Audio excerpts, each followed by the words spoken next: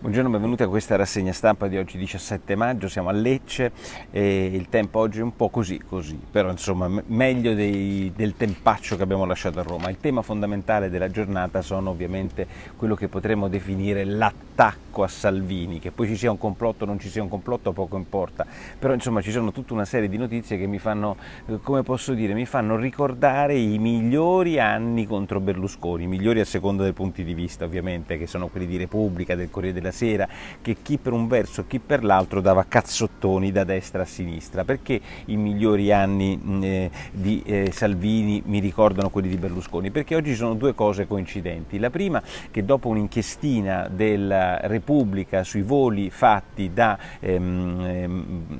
Salvini in giro per l'Italia con l'aereo blu, oggi c'è un'inchiesta della Corte dei Conti sui suoi 43 voli, bene 43 voli. 19 soltanto di questi 43 sono chiaramente diciamo non all'estero, in Egitto, in, un, in Austria, in, cioè sono chiaramente in Italia e potrebbero essere avere anche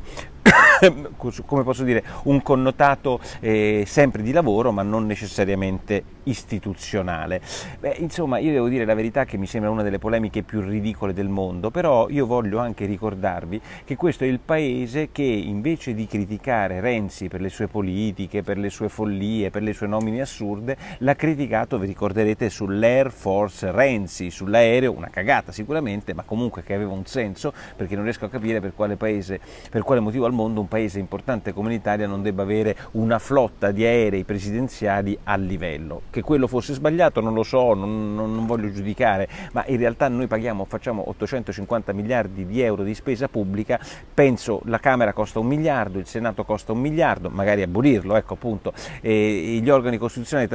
costano moltissimo che, su il, um, che i nostri ministri degli interni, possa, ma anche Di Maio, possono viaggiare con degli aerei. Um,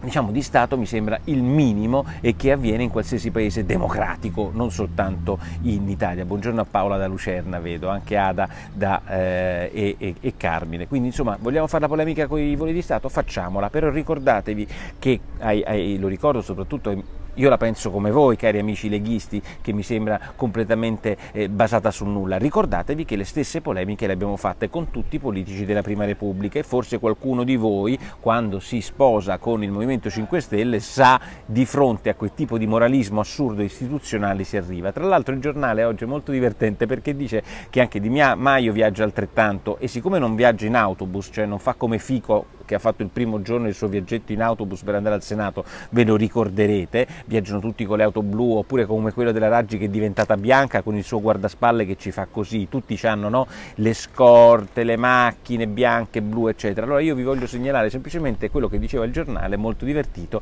che Di Maio viaggia anch'esso in aereo, però in quel caso gli aerei di linea se li fa rimborsare, sempre da noi, eh? non è che paga lui di sua, mh, mm, di sua, diciamo, di sua spontanea volontà, ma io trovo talmente ridicola questa polemica eh, su eh, Salvini che non vorrei offuscare invece il tema fondamentale, cioè che improvvisamente stiamo diventando il paese più corrotto del mondo. Lo siamo sempre stato, ma improvvisamente eh, Legnano, eh, gli arresti del sindaco e poi un arresto, come dice giustamente molto bene oggi sul foglio ehm, Cerasa di Tatarella, eh, candidato alle europee di Forza Italia di Altitonante, la cui inchiesta è stata chiusa tre mesi mesi fa, cioè chiudono l'inchiesta il 27 febbraio come nota Cerasa e lo arrestano dieci giorni prima della fine della campagna elettorale, arrestano soltanto gente per il momento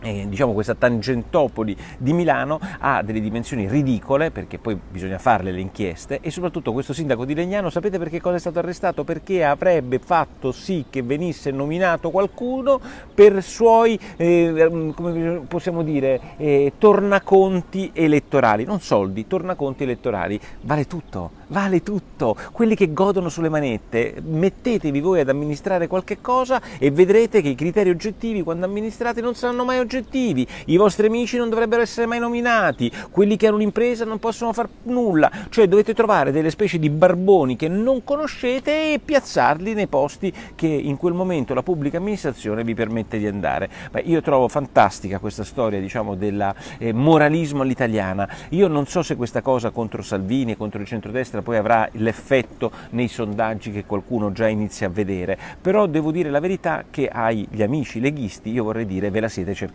sì ve la siete cercata perché con questi del Movimento 5 Stelle ve la state cercando, il loro DNA è quello, non hanno mai nascosto che era esattamente quello che loro pensano della politica, no aerei di Stato, sì sull'autobus, poi lo usano? No, ovviamente. No a, a,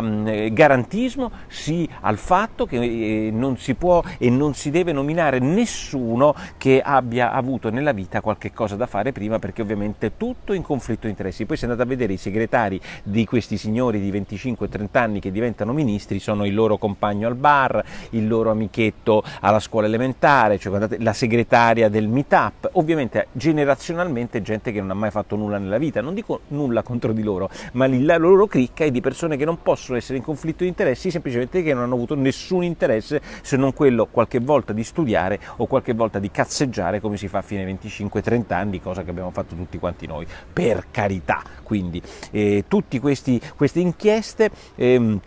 in realtà come sintetizza bene il titolo del manifesto, Duces in fundo, con la foto di, eh, del truce ehm, eh, Salvini, cioè il duce sarebbe in fondo, stanno attaccandolo, financo il manifesto se ne accorge, anche se ovviamente con una connotazione eh, negativa, mentre per la verità vogliono abbattere Salvini, è il titolo della verità, un furbetto dei cieli, questa è la tesi ormai che va avanti su Repubblica, il furbetto dei cieli insieme insieme a un partito marcio è quello che invece dice Repubblica, che come nota giustamente oggi un pezzo del giornale sta diventando e sta cercando di infilarsi e fare una crepa tra il Movimento 5 Stelle che vorrebbero vicino al PD tesi travaglio campagna elettorale e la Lega che deve andare a scomparire perché diciamo è la Lega sporca zozzona di destra neofascista. Di Maio eh, ovviamente si presta a questo gioco anche perché per in termini elettorali ha capito che gli rende, dice eh, sul fatto una eh,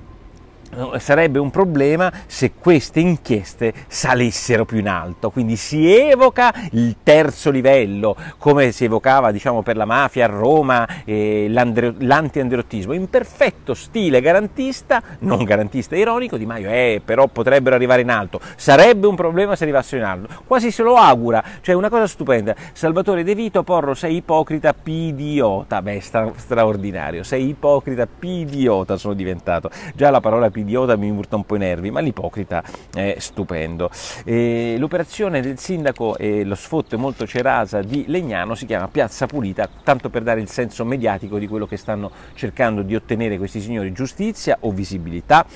Bene, ehm, fantastica la differenza tra il fatto e il giornale su quello che è avvenuto dopo la protesta, secondo me scandalosa nei confronti dei, dei Rom, scandalosa nei termini, non nei principi se volete, cioè quando una signora con un bambino entra in una casa assegnata dal comune non gli dici ti stupro, non, la, non, è, non usi violenza nei suoi confronti, non è questo il, il, sistema. Beh, la cosa scandalosa è che il fatto dice eh, informativa dei carabinieri per le manifestazioni degli antagonisti, eh, care alla destra ehm, queste informative, care a Salvini, mentre invece si scopre cosa è successo in quelle manifestazioni anti-Roma, e cioè che sono stati indagati 64 attivisti di Casa Pound. Lo leggi su tutti i giornali, tranne che sul prima pagina del fatto che eh, nella sua diciamo, eh, desiderio antisalvinista mette in conto a Salvini anche una specie di immunità nei confronti di Casa Pound che invece non ci sarebbe nei confronti della sinistra. Follia, fake news totale, anche se avviene sui giornali. Prima pagina del fatto prima pagina di tutti gli altri giornali, vedete la differenza tra l'uno e gli altri.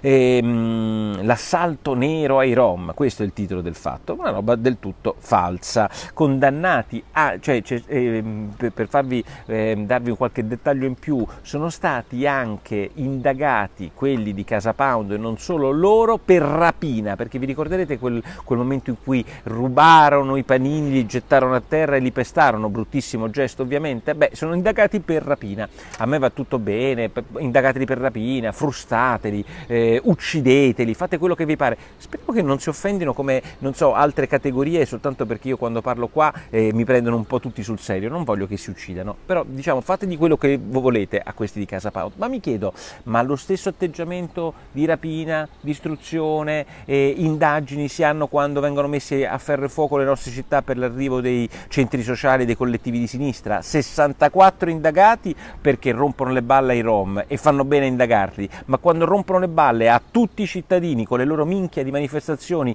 nelle città, vi ricordate 64 indagati? 3 o 4 sì e no, quando distruggono le auto vi ricordate che ne so, eh, rapine? Quando vanno sulle banche e, e, e le distruggono con, con, i bastoni che vi ricordate rapine? No, vabbè, no, soltanto per dire, giusto che hanno dato eh, ehm, un, un'accusa di rapina a quelli di Casa Pound, vorrei semplicemente che avvenisse la stessa cosa quando questi cazzoni di sinistra distruggono e mettono a ferro e fuoco la città. Nell'uno, nell'altro comportamento è accettabile in una democrazia matura. Detto questo, mi sembra che ci sia, mh, mm, come posso dire, un atteggiamento un po' più lassista quando queste robe le fanno a sinistra, ma forse è soltanto un'impressione che ho io.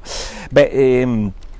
è molto buona la notizia che nel decreto ogni tanto questo governo ne azzecca qualche, qualcuna perché le cazzate fatte nel passato ci sono e, e, come, perché che cosa avevano fatto? Avevano preteso che nelle piccole SRL ci fosse il revisore dei conti o il sindaco, che è un costo in più, ma non solo è un costo più come notavano i giornali specializzati, siccome loro si attivano quando c'è qualche squilibrio di bilancio, nelle SRL questo può avvenire, cioè si sarebbe creato una specie di grande pasticcio bilancio, come possiamo dire, di sostenibilità di queste piccole imprese. E quindi cosa ha fatto un emendamento leghista, in questo santo sacrosanto, al decreto crescita, ha fatto sì che si espandesse mh, il, la dimensione delle SRL prima che necessitino di questi maggiori costi e burocrazie che sono quelle del... Ehm,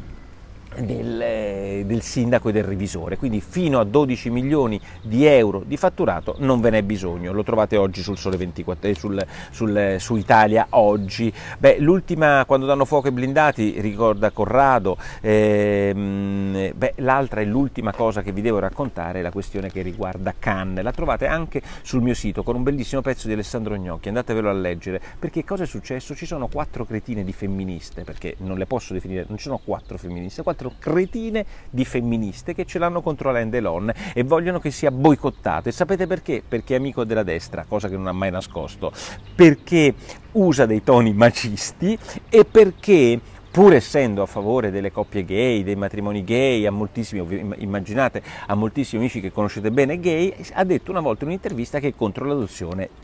da parte delle coppie gay dei bambini, cosa che molti gay pure pensano che sia eh, non da fare. Allora io mi dico e mi chiedo, ma queste qua, ma, ma, possiamo esserci ridotti a diventare la brutta copia degli Stati Uniti, ma ancora più cretini? Beh, di tutto questo ne parla eh, e di questo, cioè di Alain Delon e del ballerino che si deve, ehm, eh, che, che, che, ballerà a Verona, il ballerino russo, che un po' pazzarello, quello lo è davvero, altro che Alain Delon, insomma, ne parla eh, Alessandro Gnocchi sul mio sito, quindi non vi dico oltre perché oggi sui giornali mi sembra che qualcuno ne parli, ma non bene come Alessandro Gnocchi. Direi che per è tutto e vi do appuntamento come sempre domani con la stessa zuppa. Condividete se vi piace. Ciao!